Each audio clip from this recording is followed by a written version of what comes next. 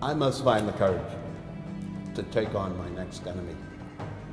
She uses her analytic abilities and sports metaphors to motivate her colleagues. I despise gym class, and I will stop her. I will find a way, not only to postpone her game, it will be over.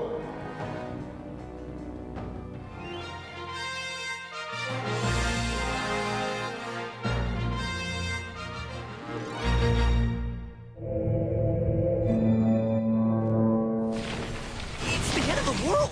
I'm freaking out. Why aren't you freaking out? Because I can hear it. Hear what? Thunder.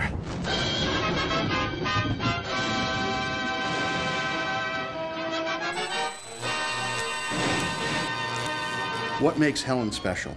Tell her something can't be done and she'll do it. She's an outstanding coworker. She gives of herself from the minute she walks in till the minute she leaves the office, and even beyond that. Yep. Okay, I'll take care of it. She knows everything that's going on in this place. Hi, Iris. We've got 500 employees. I swear she knows all of them. How are ya? Hi, Madeline. She can How step in Hi. in just Hi, about Steph. any position. Hey, Helen, we got a situation. We've got a termination I got to take care of. I already got the alert. It's already done. I just got it. How the hell did you get it? It's done. It's all done. Honest, it's done. Anything I ask gets done probably before I finish my sentence. Some of the things that we ask are next to impossible in some ways. We need all the PCC and MCO patients that have fallen off the roll since the last time you ran the report. What time do you need it? Five.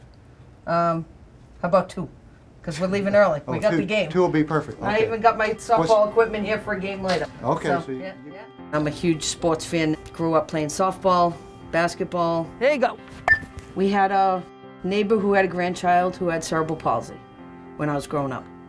And dad always said, if you're gonna do something, give it 100% for all the kids that couldn't be out there playing. And that's pretty much how I live my life. You give 110% no matter what you do. Back a few years ago, one of our staff members and their family were uh, killed in a domestic violence situation. And that was probably one of the toughest weeks this health center will ever see. Milka was a big part of making sure everybody always knew when the softball games were. So after she passed away, we had a memorial softball game for her as well. And it was Helen's doing. She gathered up everybody that needed to be involved and had a wonderful day uh, to remember Milka and her family. I gotta loosen up my arm. It was Helen who put everybody on her shoulders. She put her emotions aside to prop everybody else up. And that, to me, is Helen. Helen, congratulations. Congratulations and thank you. I can't think of anyone else that deserves it more than you. So pleased that you're getting the recognition that you deserve. Good luck.